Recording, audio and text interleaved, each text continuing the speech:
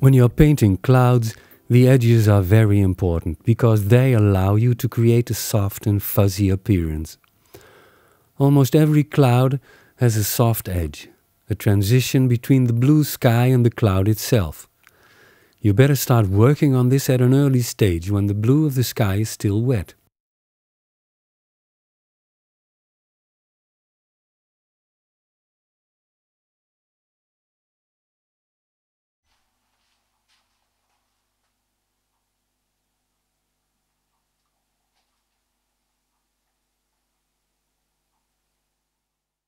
Because I use quite a lot of medium, I need more than one layer to get the color intensity I want.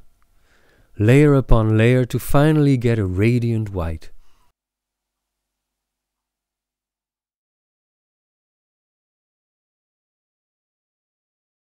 Glazing is an ancient technique developed in the 15th century by painters like Jan van Eyck. In the 20th century it fell into disuse, but with modern materials like Liquin and transparent white it still gives great results.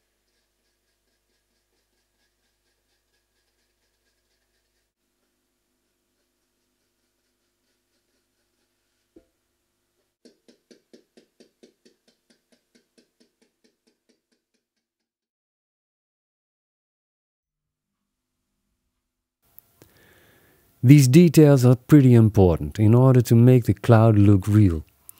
Little bulges and dots that got separated from the big cloud interrupt the shape and give it a sense of movement.